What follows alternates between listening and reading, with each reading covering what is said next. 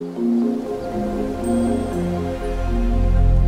everyone welcome back to my channel Mama Baby hope you guys are fine हमारे बच्चे जब दुबले पतले होते हैं या अंडर वेट होते हैं तो हम सब पेरेंट्स के मन में एक ही टेंशन होती है। हम ऐसा क्या करें कि हमारे बच्चों का वज़न बढ़े, हमारे बच्चों का वेट गेन हो? तो आज की वीडियो डेडिकेट है उन सभी पेरेंट्स के लिए जो अपने बच्चों के साथ इस तरह की प्रॉब्लम को फेस कर रहे हैं। आज की वीडियो में मैं ऐसे 15 फ़ूड आइटम्स बताऊँगी जिनको अगर आप अपने बच्चों के रेगुलर डाइट में ऐड कर लेंगे तो वो ना सिर्फ़ आपके बच्चों को एक अच्छा न्यूट्रिशन देंगे, बल्कि आपके बच्चों के वेट गेन में काफ़ी हेल्प करेंगे, जिसे आप अपने सामने लाइव देखेंगे जब आप इस डाइट को अपने बच्चों को देना स्टार्ट करेंगे।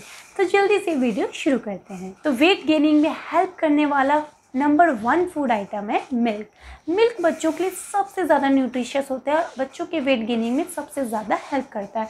हमें बच्चों को इनिशियली वन ईयर तक मिल्क सही क्वांटिटी में देना चाहिए।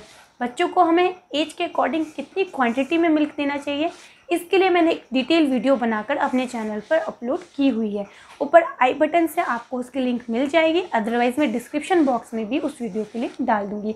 आप उस वीडियो को डिटेल में ज़रूर देखिएगा, वो वीडियो आपकी हेल्प करेगा ये जानने में कि आपके बच्चों को किस एज के अकॉर्डिंग कितने मिल्क की रिक्वायरमेंट है। बच्चों को इनिशियली सिक्स मंथ में हमें ब्रेस्ट मिल्क पे ही रखना चाहिए इवन वर्ल्ड हेल्थ ऑर्गेनाइजेशन के अकॉर्डिंग भी बच्चों के लिए इनिशियली सिक्स मंथ तक माँ का दूध ही ज़रूरी है। क्योंकि माँ के दूध में कुछ ऐसे न्यूट्रिशंस होते हैं जो बच्चे के अच्छे वेट गेन में हेल्प करते हैं, बच्चों को बीमारियों से दूर रखते हैं। समहाउ पॉसिबल नहीं हो पाता बच्चों को इनिशियल सिक्स मंथ तक मदर का दूध मिलना। क्योंकि मदर वर्किंग हो सकती है मदर का ब्रेस्ट मिल्क सप्लाई नहीं बन रहा, और भी कुछ प्रॉब्लम हो सकती है तो उस केस में बच्चों को हमें ऑल्टरनेट ऑप्शन के रूप में फार्मूला मिल्क ही देना चाहिए। बच्चे के लिए वही बेस्ट ऑप्शन है। तो हमें वन ईयर तक बच्चे को या तो ब्रेस्ट मिल्क या फार्मूला मिल्क अच्छी खासी क्वांटिटी में देना है, ताकि बच्चे का अच्छा वेट गेन हो सके। सेकेंड दही। दही बच्चों के काफ़ी ज़्यादा न्यूट्रिशियस होती है। दही में कुछ ऐसे बैक्टीरिया होते हैं जो बच्चों के वेट गेनिंग में हेल्प करेंगे। तो दही हमेशा घर का जमा ताज़ा ही होना चाहिए एंड वो दही फुल फैट क्रीम मिल्क से ही बना होना चाहिए, तभी वो बच्चों के अच्छे वेट गेन में हेल्प करेंगे। हमें मार्केट के दही को बच्चों को नहीं देना चाहिए, बच्चों के लिए अच्छा नहीं है। डॉक्टर भी आपको कभी भी मार्केट का दही बच्चों को देने की एडवाइस नहीं देंगे। इनिशियल टू ईयर्स से पहले इसलिए बच्चों को मार्केट का दही बिल्कुल देना अवॉइड करके घर का ताज़ा जमा दही ही दें। दही आप बच्चों को किसी भी फॉर्म में दे सकते हैं, आप बच्चों को दही डायरेक्ट भी दे सकते हैं। फ्रूट के साथ उसको मिलाकर फ्रूट क्रीम जैसा बनाकर भी दे सकते हैं। दही को आप बच्चों को स्मूथी के रूप में दे सकते हैं, दही का श्रीखंड बनाकर दे सकते हैं। आप दही को किसी भी फॉर्म में बच्चे को दे सकते हैं बट दही बच्चे को दिन में एक बार ज़रूर दीजिए। एक से दो स्पून दही बच्चों के लिए बहुत ज़्यादा इंपॉर्टेंट है। अगर आपका बच्चा एट मंथ से बड़ा है तो आप बच्चे को छाछ भी दे सकते हैं। छाछ बच्चे के लिए काफ़ी अच्छी रहती है। बट अगर आपका बच्चा एट मंथ से छोटा है तो बच्चे को दही दें। तो मेरे केस में, क्योंकि मैं बड़ौदा में रहती हूँ और यहाँ पे बच्चे श्रीखंड बड़े चाव के साथ खाते हैं तो मैं अंश के लिए श्रीखंड बनाती हूँ घर पे। और इस तरह से उसे दही श्रीखंड के रूप में ऑन रेगुलर बेसिस मिल जाती है। थर्ड फ़ूड आइटम है सूप वेजिटेबल सूप बच्चों के लिए काफ़ी अच्छा रहता है। आप किसी भी वेजिटेबल को सूप दे सकते हैं, जैसे टमाटो पालक या फिर आप मिक्स वेजिटेबल सूप भी दे सकते हैं, क्योंकि ये सब जो हम वेजिटेबल बच्चों को दे रहे हैं, इसमें बहुत सारा आयरन है, बहुत सारा फाइबर है, बहुत सारा कैल्शियम है, बहुत सारा विटामिन है। तो ये बच्चों के लिए इतना ज़्यादा न्यूट्रिशियस होता है और इतनी ज़्यादा हेल्प करता है बच्चों की वेट गेनिंग में कि आपको खुद इसका इफ़ेक्ट दिखेगा। अगर आप बच्चों को ऑन रेगुलर बेसिस ये देंगे तो हलवा हलवा तो जब हम बच्चों को खाना देना स्टार्ट करते हैं, हम सब लोग बच्चों को हलवा देते ही देते हैं। कोई आटे का हलवा देता है, कोई सूजी का हलवा देता है। तो हलवा भी काफ़ी अच्छा रहता है बच्चों के वेट गेनिंग में, क्योंकि उसमें आटा होता है, क्योंकि उसमें घी होता है।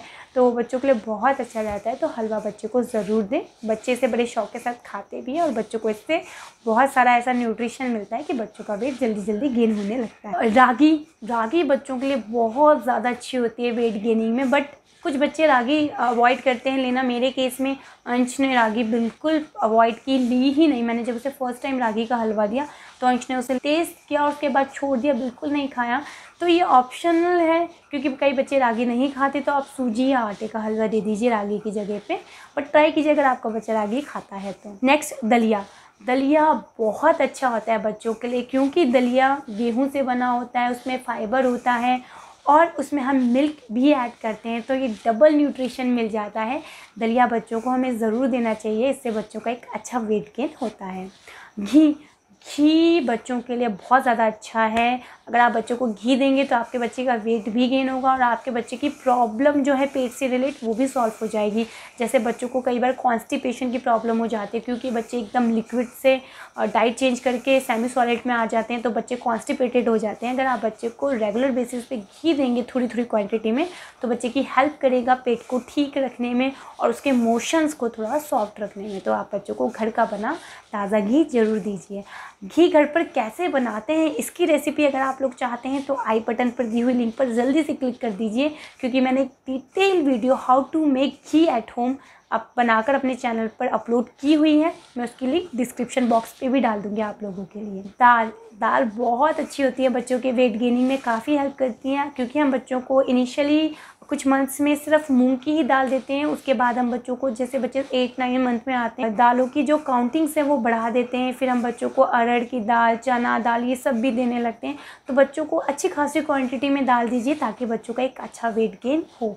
Dry fruit powder dry fruit water तो जब हम बच्चों को खाना देना स्टार्ट करते हैं ना तभी से स्टार्ट कर देनी चाहिए। मैंने भी अंश को ड्राई फ्रूट पाउडर एक दिन में एक बार ज़रूर दिया है चाहे मैं वो हलवे में डाल के दूँ दलिए में डाल के दूँ या फिर सिंपल उसको हाफ़ स्पून अंश को आ, ऐसे ही खिला दूँ तो ड्राई फ्रूट पाउडर ज़रूर दीजिए बच्चों के वेट गेन के लिए काफ़ी हेल्पफुल होते हैं। अब बनाना जब हम बच्चों को फ़ूड से इंट्रोड्यूस कराते हैं तो हम बच्चों को शायद पहला फ़ूड बनाना ही देते हैं। कुछ लोग एप्पल भी देते हैं बनाना बच्चे बड़े शौक के साथ खाते हैं और क्योंकि बनाना में कार्बोहाइड्रेट है पोटेशियम है कैल्शियम है तो बनाना बहुत अच्छा रहता है बच्चों के वेट गेन में।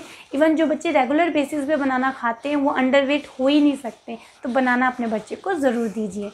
चीकू एंड एवोकाडो, ये भी बहुत हेल्प करते हैं बच्चों के एक अच्छा वेट गेन होने में। तो आप चीकू और एवोकाडो भी बच्चों को दीजिए, काफ़ी ज़्यादा न्यूट्रिशियस होते हैं। शकरगंदी शकरगंदी कहें या स्वीट पोटैटो कहें, बच्चे बड़े चाव के साथ खाते हैं। आप बॉयल करके शकरगंदी बच्चों को दे दीजिए, बच्चे शौक के साथ खाएँगे और क्योंकि शकरगंदी में कार्बोहाइड्रेट होता है तो काफ़ी हेल्प करते हैं बच्चों के एक अच्छे वेट को गेन करने में। पटैटो पटैटो में भी कार्बोहाइड्रेट होने के कारण वो बच्चों के वेट गेनिंग में काफ़ी हेल्प करता है।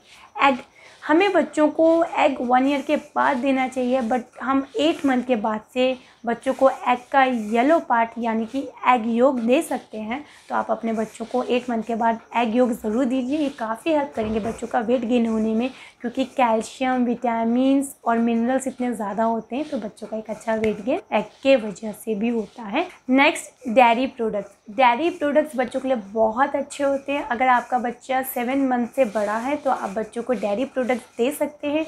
डेयरी प्रोडक्ट्स में आप बच्चे को चीज़ दे सकते हैं बटर दे सकते हैं।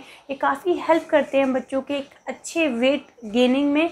बट आपको ये रेगुलर डाइट में ऐड करते समय इस बात का ध्यान रखना है कि जब आप बच्चे को बटर दे रहे हैं तो आप बच्चे को घी ना दें।